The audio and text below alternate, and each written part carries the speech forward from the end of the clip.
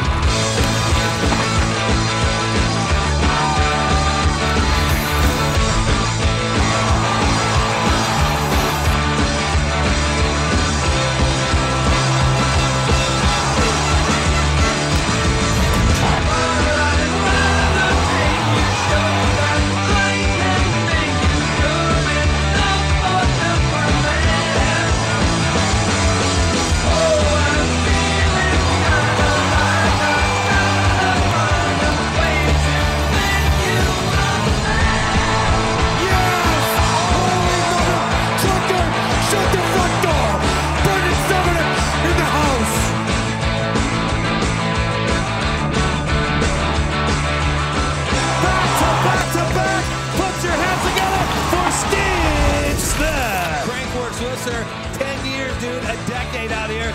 Couldn't get better than that.